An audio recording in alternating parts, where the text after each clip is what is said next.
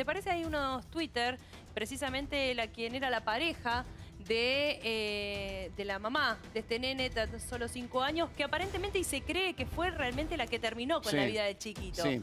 Avi Páez, no tengan hijos si realmente no lo desean o no lo planean como una gran meta o como lo más importante en sus vidas. No traigan pibes al mundo para sufrirla. Bueno, la de su madre. Esto fíjate que fue el 15 de octubre de 2021. Es muy impactante, ¿no? Pero te das cuenta que ni siquiera lo querían. No, no, lo querían, era un estorbo, ¿no?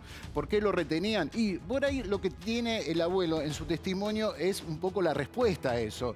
Lo, lo tenían como un elemento de extorsión para sacar plata, ¿no? De, la familia del padre, ¿no? esos 3 mil pesos para que por lo menos puedan tener una videollamada. Porque si no, nos explica para qué tenían a un nene a, su cuidado que no querían. Y, eso que escribió Abigail es muy esta desgraciada, habría que decirle, eh, realmente es muy impresionante, muy impresionante. Pues estaba avisando, ¿no? A veces quisiera tener unos días a solas con Maga. Maga era la mamá del nene. Tanto pido o sea, ¿te das cuenta de esta situación? No lo quería nene. A ver, esta mujer, porque la madre en ese momento cuando ocurre eh, la golpiza al chiquito, aparentemente porque todo lo que dijeron es una mentira, pero aparentemente ella no estaba porque se había ido a trabajar y cuando vuelve, cuando la llama esta porquería, directamente ahí es cuando el nene ya estaba totalmente golpeado, lo llevan a una comisaría, le hacen RCP, después lo trasladan a un centro asistencial y claramente había muerto. ¿Qué es lo que dicen?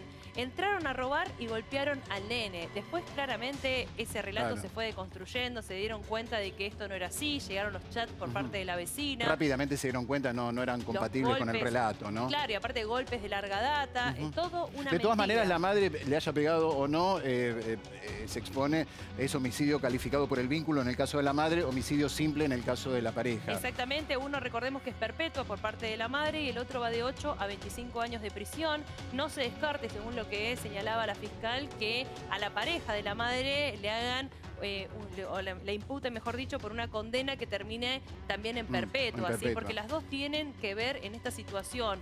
Ya sea que la lo golpeara una o la otra, se encubrían entre ambas. Bueno, porque además había una relación, eh, por supuesto, por más que el vínculo no era de sangre, había un vínculo sí de hecho con, la pareja, pues convivían.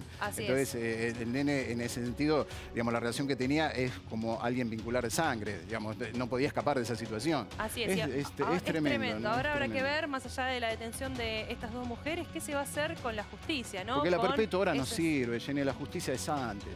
Sí, sin duda, pero ¿qué se va a hacer, al menos por la memoria de este chiquito también, con la fiscal, con la jueza de menores, con la abogada que precisamente nunca le dieron importancia a cómo trataban a este chiquito de tan mm. solo cinco años? Porque también tiene mucho que ver y creo que son las culpables de todo lo que iba pasando, porque ya sabían cómo iba a terminar y bien lo dijo el abuelo, que esto claramente mm. era una muerte anunciada. Seguimos así.